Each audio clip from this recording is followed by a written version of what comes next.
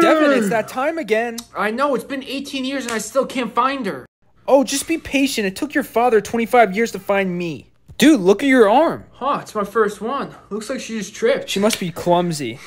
Oh, I can't wait for picture day. I'm looking fresh. What? Are you kidding me?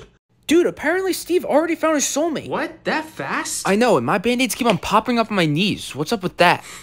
Oh, why are my balls so sticky? Oh, what the John? Oh, that's nasty. It smells fresh. Hey, Devin, you got something on your nose. Very funny. Jerk off. Yo, did you hear the new teacher tripped on the stairs? Oh my god, is she okay? Yeah, she just snapped her back. What an idiot. I know. Um, Devin?